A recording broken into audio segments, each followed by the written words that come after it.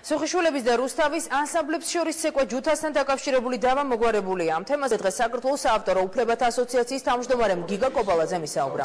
მისი განცხადებით ჩატარებული სამშვები დადგინდა, რომ ამ ორი ანსამბლის ქორეოგრაფიაში მსგავსება არ არსებობს.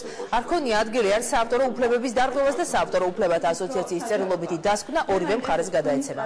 როგორც კოპალაძე აცხადებს, ერთადერთი მსგავსება დუბაიში გამართულ კონცერტზე იყო, სადაც ანსამბლ რუსთავის მოცეკვავეებს თავზე სუხიშვილების მსგავსი ქუდი ეფარათ და ფოლკლორში მსგავსი ფრაგმენტი مصنوده بکنید ამ ორ ცეკვას შორის ქორეოგრაფიის ნაწილში მსგავსება არ არსებობს. თუმცა ის ფაქტი, რა ფაქტის გამოც მოხდა სწორედ სუხიშვილების განცხადების დაფიქსირება ჩვენ საზოგადოებაში, ეს ფაქტი ეხება დუბაიში გამართულ კონცერტს, სადაც მეცხარის ქუდი, ფაფახი ეგრეთ წოდებული და ეს ახურავს ცეკვა ჯუთაში, ამ ქუდის ეს ქუდი დაიხურეს მოცეკვავეებმა დუბაის კონცერტის შემთხვევაში, რაც არ ყოფილა ფრიდონთან შეთანხმებული, დადგინა რომ მუსიკაში მსგავსება არ არის, მხოლოდ რამოდენიმე წამიანი ფრაგმენტი, რომელიც გამოყენებულია ჯუთაში და რომელთაც იწება ჯუთა